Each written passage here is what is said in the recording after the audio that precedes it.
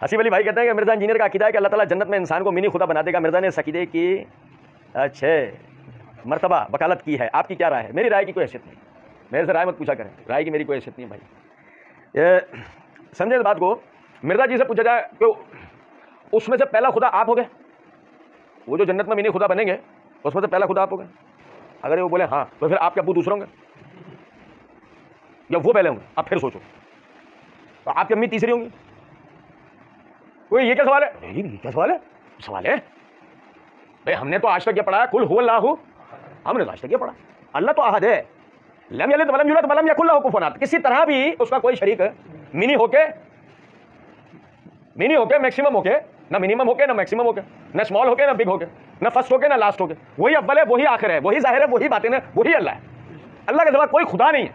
अल्लाह के सिवा कोई खुदा नहीं है। मैं ये लफ्ज़ खुदा इसलिए इस्तेमाल कर रहा हूँ कि फारसी में मालिक लफ्ज़ अरबी का मालिक है ना तो फारसी में तर्जुमा खुदा होता है, लेकिन वो उर्फ़ में इला के लिए भी खुदा के लिए इस्तेमाल कर लेते हैं। यही वजह है कि ईसाई, ईसा इस्लाम के लिए तस्वुर रखते हैं उलूहियत का, किसका? इला होने का। लेकिन जब हमसे बात करते हैं तो लफ्ज़ खुदा इस्तेमाल करते हैं, चलाकी ये करते हैं। आप ये समझे तो खुदा, हम भी समझते हैं इस बात को, खुदा ब मैंने वही है, माबूद के। तो आप इस बात को समझें कि अब जब जन्नत के अंदर इंसान जो है, वो खुदा बन जाएगा, मिनी खुदा ही सही तो हमारा तो सवाल है ना, आप पहले होंगे, दूसरे।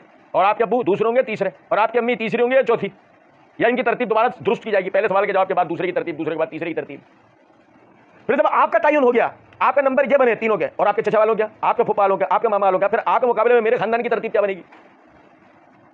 क्योंकि ये बात तय तयशुदा मिनी होने के बाद भी खुदा तो है ना, अब उसका मरतबा तो होगा ना, खुदा तो खुदा है। हाँ नहीं समझे कुछ बात। भाई, देखो जरा समझो, ये खुदाई वाला तस्वुर ऐसा है, ये ऐसा तस्वुर है खुदाई वाला, कि आप अंदाज़ा करें कि जब वो हीरा के मकाम से साहब आए और उन्होंने वहाँ पर वो रोमी बादशाह के सामने जब अपनी आवाम को सजदा करते देखा और आकर उन्होंने कहा, अल्लाह के रसूल, आप तो ज़्यादा हकदार हैं कि हम आपको सजदा करें तो आप हमें हुक्म दें आपको सजदा करेंगे। तो वो खुदाई के तस्वुर को मद्देनजर रखकर बात हो रही थी कि वो तो उसको खुदा समझते हुए उसके आगे सजदा कर रहे थे। साहब ताजीमन समझते हुए आए थे कि ये शायद ताजीम में सजदा कर रहे आगे कर अल्लाह के रसूल, आप तो ज़्यादा हकदार हैं हम आपके आगे सजदा करें। तो क्या रसूल उनकी नियतों को नहीं जानते थे। बताइए, तरबियत तो आप ही ने की थी ना, लेकिन उसके बावजूद आपने क्या फरमाया? लोगों, अगर मेरा इंतकाल हो जाए, मेरी कबर को सजदा करोगे? क्या लगे रसूल नहीं करेंगे, तब फरमाया, मेरे जीते जी कभी मेरे सामने भी सजदा नहीं करना, क्योंकि अगर मैं ये हक देता तो बीवी को हक देता कि वो अपने शोहर को सजदा करे। भाई, शोहर क्या बना? अब शोहर क्या बन गया? लेकिन क्या बन क्यों नहीं पाया? इसलिए नहीं बन पाया। समझे जरा इस बात को? बन इसलिए नहीं पाया कि हदीस में अल्फाज है कि अगर मैं यह हक देता तो जब शोहर मिनी खुदा नहीं बन पाया तो हम कैसे बनेंगे?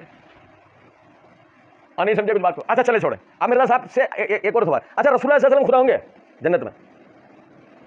अब भाई मेरे अरे छोड़ो यार, तुम्हें सब माफ़। यसु मसीह खुदा होंगे, मिनी ही सही। होंगे उनके बालदा। होंगे या नहीं?